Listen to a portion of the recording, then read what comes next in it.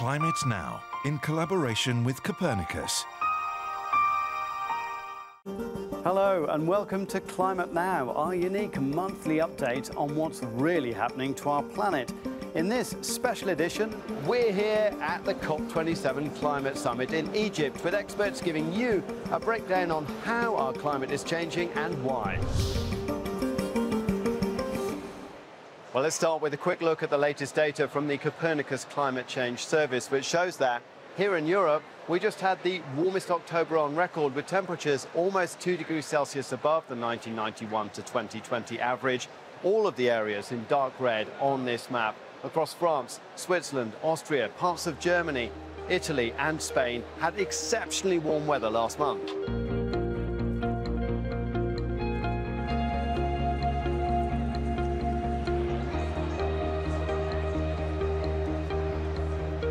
Now those are the figures for October, but they're part of a much wider trend. Europe is warming much faster than the rest of the planet. And to understand why, I met up with Petteri Taalas, the Director General of the World Meteorological Organization.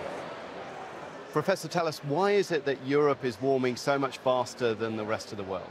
So uh, we have seen uh, more than double warming taking place in Europe as compared to the rest of the world, and uh, that's because of uh, of the warming in the Arctic, which has had a big impact in northern part of Europe.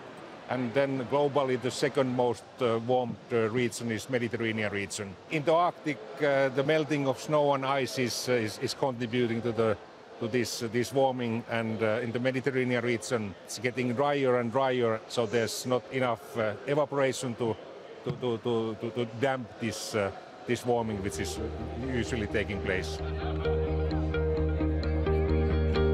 The warming that we're seeing here on land would be even more rapid if it wasn't for the oceans. It's calculated that they are absorbing up to 90% of the excess heat in the atmosphere trapped by greenhouse gases, and they're suffering.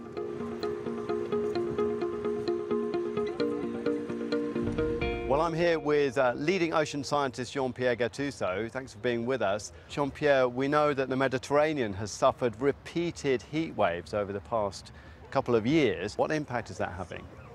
The main effect of marine heat waves are massive mortality of invertebrates and plants, mollusks, sponges and corals.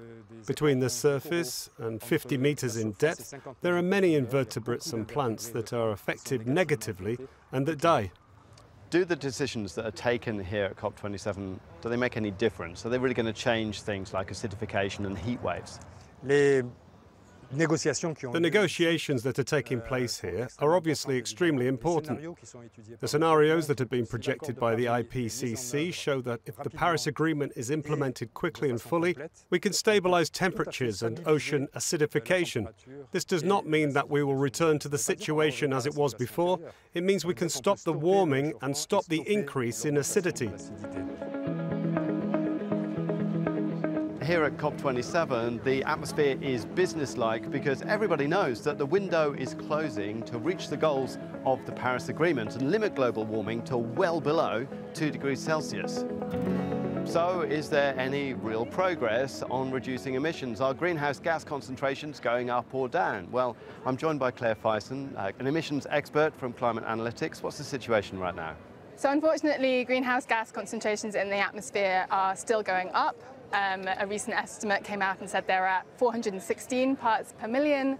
That's higher than it was last year. That's higher than it's been in all of human civilization. So a very worrying trend because as carbon emissions continue to go up, climate change impacts will continue to get worse. Is there any expectation that the greenhouse gas concentrations in the atmosphere will actually stabilise soon?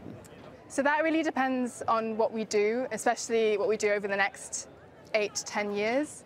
Um, if we get emissions down to zero, then yes, we will see a leveling off in those concentrations and we'll see temperature rise starting to plateau and climate change impacts stopping to get worse. Recent assessments suggest that actually we're going to head for around 2.4 to 2.8 degrees of warming, so really not a place that we want to be. Well, that's all we have time for. You can hear more from the politicians, campaigners and scientists here at COP27 on Euronews and Euronews.com. And I'll see you next time. Climate Now, in collaboration with Copernicus.